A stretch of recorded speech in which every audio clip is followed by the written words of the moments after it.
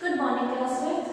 We are studying chapter number 20, prosperity from agriculture. And in this chapter, we have completed some topics. इस chapter में हमने कुछ topic First, किए हैं first हमने पढ़ा था एक्टिविटीज़ ड्यूरिंग एग्रीकल्चर खेती करते समय कौन कौन से काम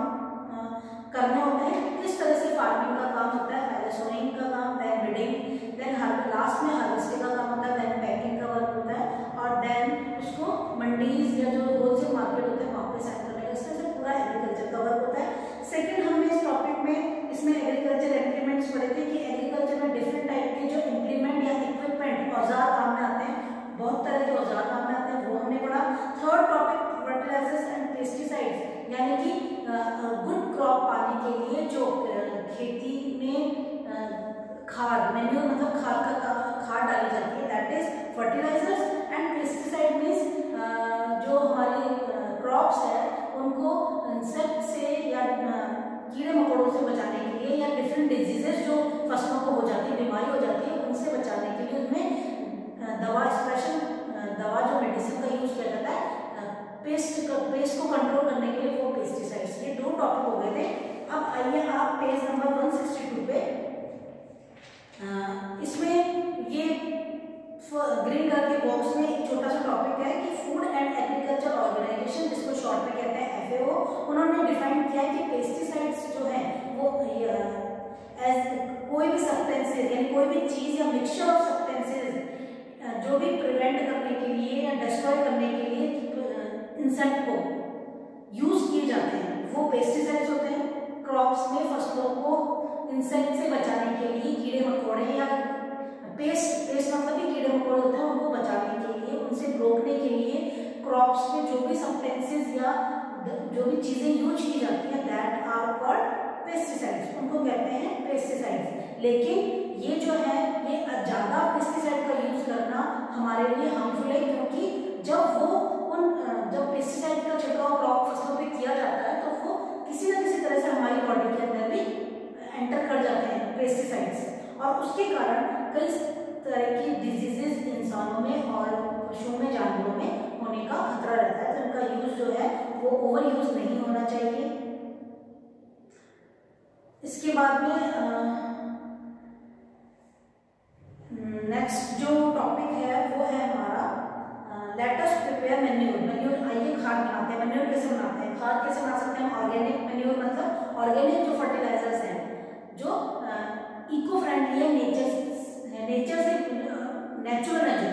जो जो किसी प्रकार का हार्म क्रॉप्स को नहीं पहुंचाते हैं, वो कैसे बनाया जा सकता है? आप एक पिट बनाइए पीआईटी पिट मीन्स होता है गड्ढा बनाइए, उसमें फॉलन जो लीव्स होती हैं गिरी पत्तियाँ ट्विग्स टहनियों के टुकड़े, या फिर आपके घर का जो बचा हुआ वेजिटेबल्स का फ्रूट्स का जो पील्स है छिलके या लेफ़्ट ओवर फ़ूड है बचा हुआ खाने का सामान है वो उस गड्ढे में डाल दीजिए और उसको वापस वापस मिट्टी से कवर कर दीजिए। आफ्टर टू और थ्री मंथ्स दो तीन महीने बाद में जब आप उसको ओपन करेंगे उस गड्ढे को तो वो जो सारा जो आपने उसके अंदर सामान डाला था, वो सब मिक्स हो जाएगा, मिट्टी में मिक्स हो जाएगा सॉइल बन जाएगा। और वो जो सॉइल है, वो जो मिक्सचर है, वो पेड़ पौधों के लिए बहुत यूजफुल होता है, बहुत अच्छा होता है। वो होता है हमारा मेन्यूर वो ऑर्गेनिक ऑर्गेनिक फर्टिलाइजर्स है। तो इस तरह से हमको मेन्यूर बना करके क्रॉप्स में काम में लेना चाहिए। फिर सेकेंड है स्टोरिंग ऑफ़ ग्रेन्स मतलब कि अनाज जो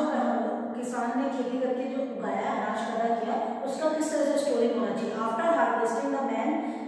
main challenge for the farmer is storage bags of harvested crops are taken from the field of warehouses. It may be a room, it may be a room of a house or a cold store. घर बड़े बड़े मतलब बोरियों में वो harvested जो crop है, जो काटी हुई फ़सल है, उसको पैक किया जाता है और उसके बाद में उनको जो वेयर हाउस है मतलब कि जो हमारे स्टोर रूम्स होते हैं, एक रूम बड़ा सा कमरा होता है, अंधेरा कमरा होता है, वो स्टोर रूम होता है, उसके अंदर वो बैग्स रखे जाते हैं हार्वेस्टेड क्रॉप्स के, या फिर वो एक कोल्ड स्टोर होता है बहुत ठंडा रूम होता है डार्क और कोल्ड जो रूम होता है, उसको कहते हैं स्टोर कोल्ड स्टोरेज वहाँ पे वो फ़सलें रखी जाती है वो जो हमारा प्रोडक्ट प्रोडक्शन है, जो हमको मिला है, वो प्रोडक्शन आप वहाँ पे रख सकते हैं प्रोडक्ट आपका। The storage place should also be free from insect इसके अलावा वो स्टोरेज जो रूम है, आपका एक तो कोल्ड होना चाहिए, ठंडा होना चाहिए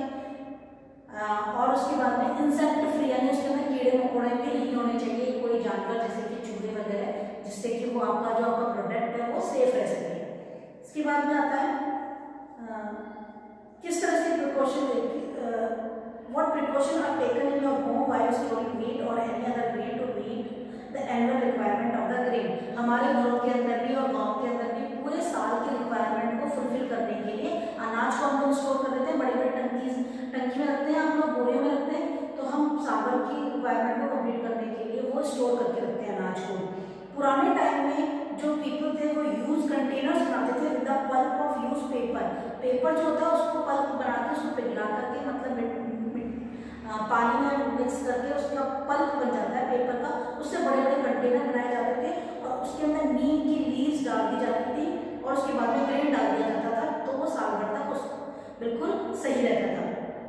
इससे grains remain safe for the entire year पूरे ईयर तक वो ग्रेन जो था, वो सेफ़ रहता था। तो इस तरह से पहले के टाइम में किया जाता था। Less production in the field इसके बाद में नेक्स्ट टॉपिक है less production in the field का मतलब है कि कई बार खेतों में हमारे कम प्रोडक्शन होता है, जितनी ज़रूरत होती है, उतना अनाज नहीं उग पाता है। तो उसका क्या रीजन है? If the rain come at the proper time अगर बारिश सही टाइम पे टू टाइम टू टाइम जब बीज हुआ है, उसके बाद फिर थोड़ा पौधा बड़ा हुआ उसके बाद टाइम टू टाइम बारिश होती रहती है तो बहुत अच्छी क्रॉप्स होती है, फ़सलें पैदा होती है। बट लेकिन क्रॉप्स स्पॉइल भी हो जाती है, कई बार खराब हो जाती है ड्यू टू हैवी रेन अगर बारिश बहुत ज़्यादा होगी तो पौधा गल जाता है, सड़ जाता है। क्रॉप्स पूरी खराब हो जाती है। इसके अलावा अनटाइमली रेन जब बारिश की ज़रूरत होती पानी की ज़रूरत होती है खेतों में, तब तो बारिश होती नहीं है। और कई बार जब ज़रूरत नहीं होती तो बारिश हो जाती तो अनटाइमली रेन इसको बोलते हैं अनटाइमली रेन बिना टाइम के बारिश के या फिर स्केयर रेनफॉल स्केयर रेनफॉल का मतलब होता है कम बारिश के कारण। सूख जाती है फ़सलें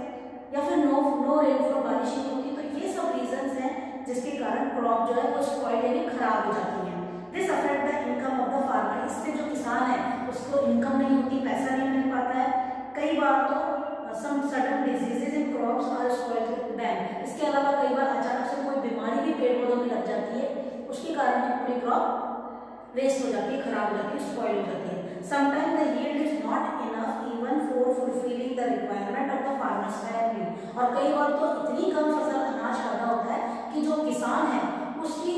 उसकी रिक्वायरमेंट उसकी ज़रूरतें भी पूरी नहीं हो पाती है तो वो सेल करने लायक तो बचता ही नहीं है उसके पास जो फ़सल है। वो उसकी ज़रूरत के हिसाब से भी अनाज उत्पन्न जो पैदा है, वो नहीं हो पाता है खेतों में। तो इस तरह से लेस प्रोडक्शन भी हो जाता है कई बार फ़ील्ड में नाउ नेक्स्ट टॉपिक हमारा है कैटल रेयरिंग यानी कि पशुओं या मवेशियों को पालना। गाँव में खेती के साथ साथ जो फार्मर्स होते हैं, वो डिफरेंट एनिमल्स जैसे काउ बफेलो गॉड शेप इनको पालने का रियलिंग मीन्स पालने का भी करते हैं। तो ये जो टॉपिक है ये हम हमारी नेक्स्ट क्लास में